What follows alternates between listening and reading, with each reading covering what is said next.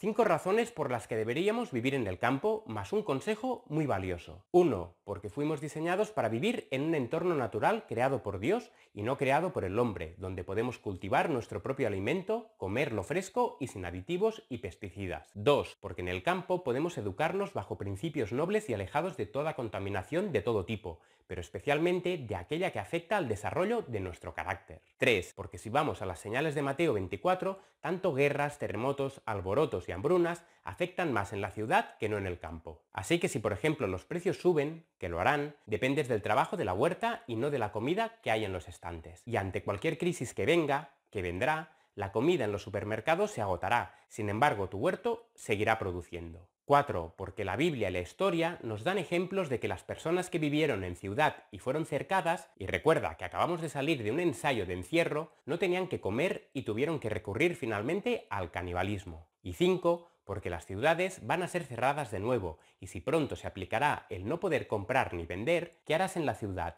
O someterte a las leyes que te hagan negar a Dios o morir en ellas por desobedecer al Creador. Así que tú decides. Y ahora aquí va el superconsejo.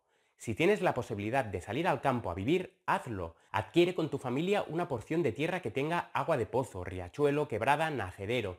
Construye una casa o aprovecha la que ya hay. Si puedes, no vayas únicamente con tu familia, sino con una o dos familias más que tengan tus mismos principios.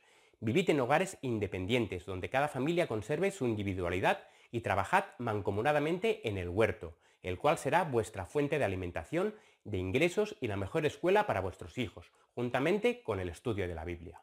Recuerda que la mayoría no siempre tiene la razón. Más contenido en laverdadilustrada.com.